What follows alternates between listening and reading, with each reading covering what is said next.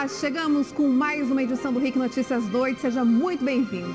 Boa semana, boa noite para você. Começamos falando da tragédia no Parque Nacional do Iguaçu, que um delegado da Polícia Civil acabou sendo encontrado morto dentro do banheiro do parque. E tudo leva a crer escola que a arma tenha disparado acidentalmente.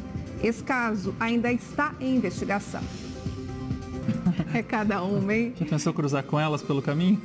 São mansas. Boa noite para você. A gente volta a se encontrar amanhã. Ótima noite. Boa noite. Até amanhã. Tchau, tchau.